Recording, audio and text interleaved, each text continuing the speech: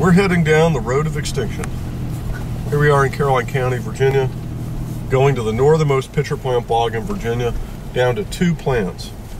This site has declined from 10 plants in 1990 to two plants in 2010. There used to be 10 pitcher plants in here. We found the site in 1990. There were 10 pitcher plants, and the colony stayed at that number for quite a while. Then about five years ago, the, the colony started to crash, and that was because the habitat, if you look around, the hardwood trees were closing the canopy.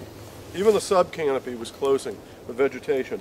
So two years ago, we intervened and we started clearing vegetation here. When we did that, there were four plants when we did the intervention. In that year, we lost two plants. We literally saw them die. They had been infected by fungus and rotted off before our eyes. We were literally witnessing the process of extinction. However, the two plants that were still here, by removing just a few stems, allowed enough light in, it's, they started to flower. Last year we got one flower.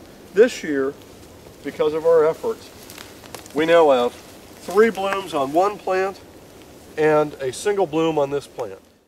So what you're seeing here is a work of art that's in great need of restoration. And just like a painting that's sat in an attic uh, or somewhere and has been covered with grime, this is going to take a lot of work to restore. But, but it can be done. That's one of the exciting things of preventing extinction. You can intervene, stop the process, and reverse it and restore this to a beautiful sphagnum bog.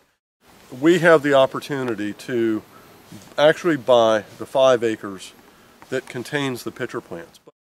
Is five acres enough? Uh, the answer is no, but we already have a plan to address some of the other issues.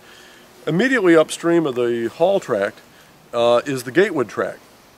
And we've had a conservation buyer come out of Richmond, a retired botany professor, that is, is in the process of buying that parcel.